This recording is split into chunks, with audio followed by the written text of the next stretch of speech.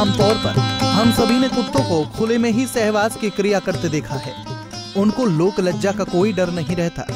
इस पर लोगों का मानना ये होता है कि वो तो जानवर हैं, तो सहवास की क्रिया को खुले में ही करेंगे। लेकिन कभी आपने कुत्तों के अलावा बिल्ली या किसी और जानवर को सहवास की क्रिया खुले में करते देखा है?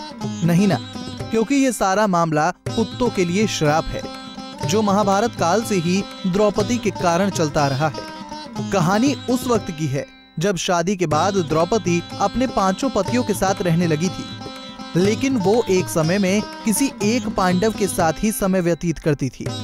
द्रौपदी जब अपने कक्ष में किसी पांडव के साथ होती तो वही पांडव दरवाजे के सामने अपनी चरण पादुका रख देता था, जिससे कि दूसरे पांडवों को ये जानकारी हो कि द्रौपदी किसी और पांडव के साथ अपने कक्ष में है।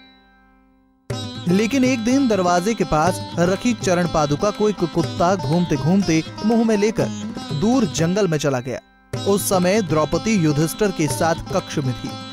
इस दौरान भीम जब द्रौपदी के कक्ष की तरफ़ गए तो उन्होंने देखा कि दरवाजे पर कोई भी चरण पादुका नहीं है। अतः कक्ष में कोई भी नहीं होगा। जब भीम ने कक्ष में प्रवेश किया तो उन्होंने देखा कि द्रौपदी युधिष्ठिर के साथ बिस्तर पर है। द्रौपदी युधिष्ठिर और भीम ने जैसे ही एक दूसरे को देखा, तीनों शर्म से लज्जित हो गए और बाहर दरवाजे पर देखा तो कोई चरण पादुका भी नहीं थी। फिर दूर जंगल जाकर देखा तो एक कुत्ता उनकी चरण पादुका से खेल रहा था। इस पर द्रौपदी को काफ़ी शर्म और गुस्सा आया।